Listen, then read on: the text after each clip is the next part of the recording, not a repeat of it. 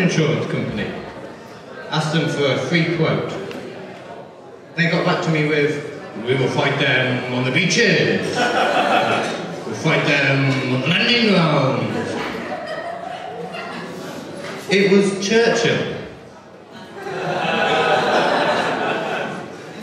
Said to them I'd like to take out some contents insurance, please.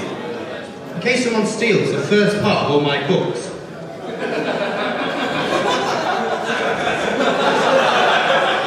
Slow.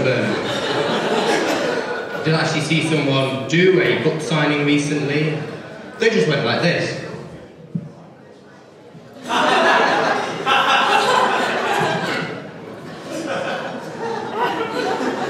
Because, because you see, a lot of people ask me why I decided to attack that copy of War and Peace with just a pair of scissors.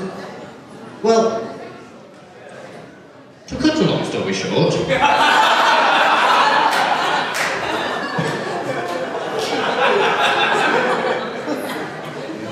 great to be here in Manchester tonight, though. Uh, I just hope John my Saturday don't mispronounce the name of a Doctor Who spin-off show. Touchwood.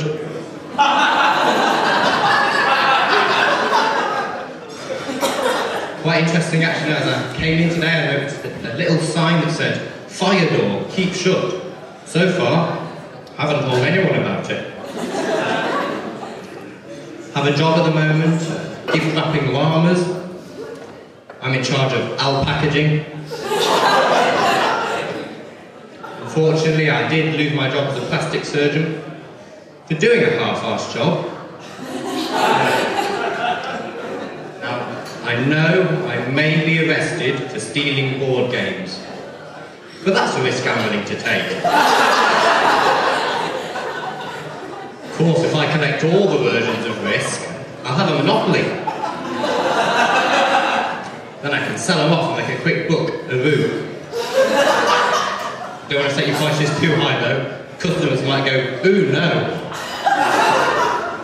Which isn't even a board game.